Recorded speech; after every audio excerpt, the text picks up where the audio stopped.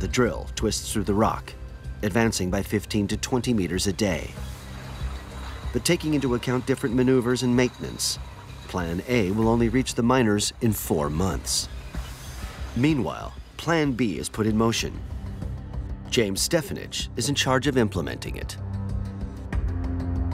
Plan B consisted of using the same hole that we had already drilled and hit the maintenance shop so we could take that hole and just make it wider so we could fit a capsule and bring the people up.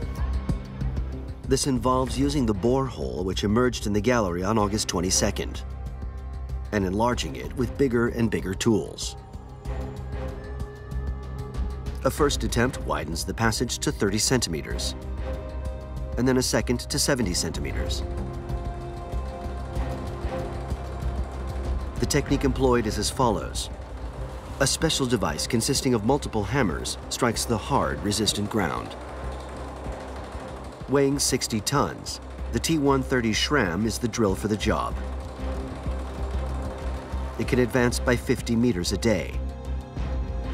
Consequently, in 10 days it catches up with Plan A, which, because it is drilling a new hole through the rock, advances more slowly.